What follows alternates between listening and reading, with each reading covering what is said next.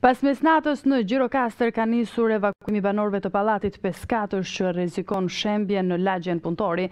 Vendimi për evakuim është marrë pas pesë orësh të gjata diskutimi.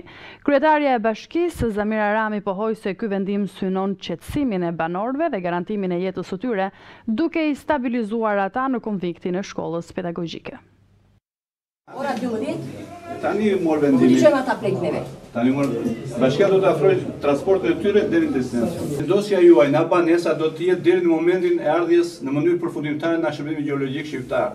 Përfundimet që thonë, është i banueshëm, s'është i banueshëm, shkalla e rrezikshmërisë e kategorisë së parë, dytë, tretë, katërt apo disa veprime të tjera. Bashkia e Gjirokastrës dhe Shërbimi Gjeologjik përplasen për rrëshqitjen e tokës dhe rrezikun e banorëve të një pallati pesë katësh. Ndërsa në mbrëmje banorët kanë dalë përpara pallatit të frikësuar dhe aty ka shkuar dhe kryetarja e bashkisë Zamira Rami për të parë mundësinë e transferimit të tyre në një vend më të sigurt. Rreth mesnatës prefekti i qarkut të Gjirokastrës miratoi vendimin e kryetares së bashkisë për evakuimin e shtatëmbëdhjetë familjeve të pallatit pesë katësh dhe tre familjeve të një vile pranë pallatit që rrezikon nga rrëshqitja e dheut.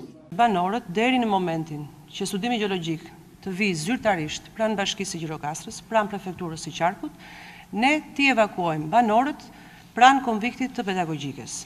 Sigurisht që këto janë vendime vetëm për të qetësuar qytetarët, në mënyrë që ata të mos jenë të paorientuar dhe të mos shprehen që nuk ka një vend ku të shkojnë për t'u strehuar, Vendimi fillon pas ekzekutimit që u komunikua derë më derë. Pjesa më e madhe e banorëve ishin larguar para mbërritjes së ekipeve të ekzekutimit të vendimit. Disa familje e kanë kundërshtuar vendimin dhe shfaqën dhe revoltë. Gjatë natës, mjetet e bashkisë, policisë, zjarrfikëses dhe spitalit transportuan për në konviktin e shkollës pedagogjike të gjithë banorët e mbetur në shtëpi me përjashtim të një familje që pritet të largohet të gjithë banorët e mbetur në shtëpi. Rreth godinave pritet vendosja e shiritave të sigurisë deri në daljen e vendimit prej shërbimit gjeologjik ndërsa policia është angazhuar për mbrojtjen e territorit. Situata avancoi me shpejtësi pasi banorët konstatuan çarje të reja mbrëmjen e djeshme shumë pranë pallatit të tyre.